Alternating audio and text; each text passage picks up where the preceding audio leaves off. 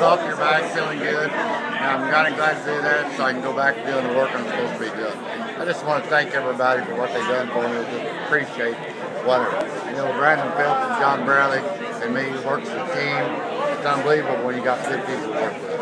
Okay, so what do you think some of the big issues have been for your campaign?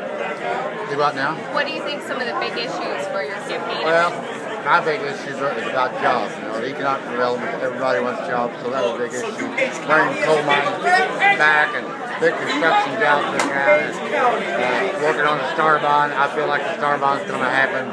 Just putting people to work. That's the biggest issue that I. Okay, so how was it like watching the votes come in tonight? You hear the noise in here. How was it?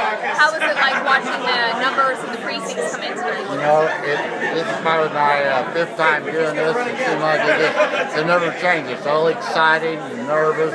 You're always interested watching it. But when that last number comes in, it's all worth everything. everything. Okay, um, so what are what are your thoughts? What what happens tomorrow? Well, happens tomorrow. We got signs out there. We're gonna pick all the signs up. Uh, get our campaign office tore down, and we get back to go back to Springfield. Okay. Is there anything else you want to add? Status over. Okay.